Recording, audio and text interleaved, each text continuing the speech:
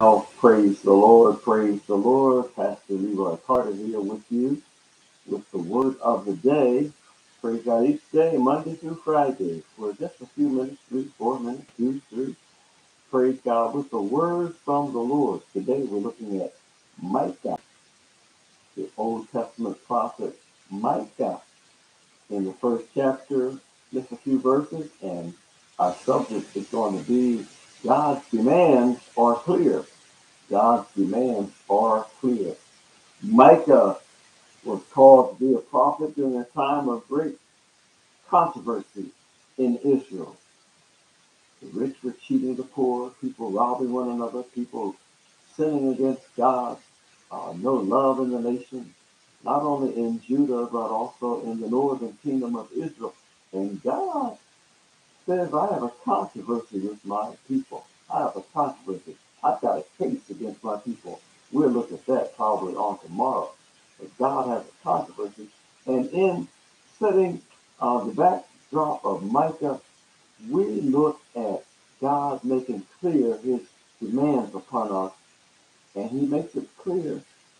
Romans chapter 2 says, Thou art inexcusable, O man so no excuse is going to hold up before God. Look at what Micah writes in the uh, first chapter. Hear, all you people, hearken, O earth, and all that therein is, and let the Lord God be witness against you, the Lord from his holy temple. For behold, the Lord cometh forth out of his place, and will come down and tread upon the high places of the earth. As the mountains shall be molten under him, the valleys shall be cleft as wax before the fire, and as the waters that are poured down a steep place. For the transgression of Jacob is all this, and for the sins of the house of Israel. What is the transgression of Jacob? Is it not Samaria? And what are the high places of Judah? Are they not Jerusalem? Therefore, I will make Samaria as an heap of the field, and as plantings of a vineyard. And I will pour down the stones thereof into the valley, and I will discover the foundations thereof. And all the graven images thereof shall be beaten to pieces, and all the hires thereof shall be burned with the fire, and all the idols thereof will I lay desolate. For she hath she gathered it of the hire of the, an harlot, and they shall return to the hire of an harlot. God said he's tired, he's tired, he's tired of people worshiping idols, cheating, and, and, and turning their backs on him and doing everything they want to do.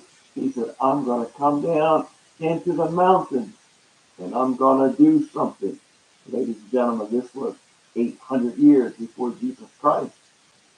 And you'll think we would have learned our lesson 800 years before Christ, 2,800 years ago, and we're still doing the same thing, worshiping idols, turning our backs against God, doing whatever we want to do. But God says, I will come down into the mountains.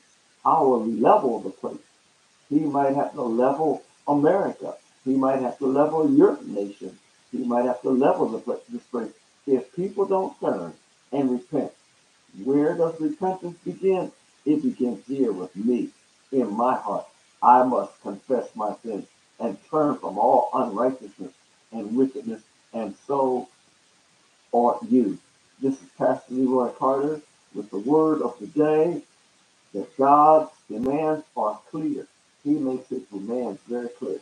The Bible is not a controversy. The Bible is not unclear. It's very plain. Read it, do it, obey it.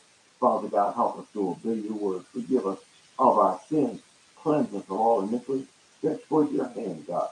Touch people today that they will be saved, that they will repent of their sins and receive Jesus Christ as Lord and walk in righteousness and obedience to you. Well, looking forward to seeing you on tomorrow. God bless you.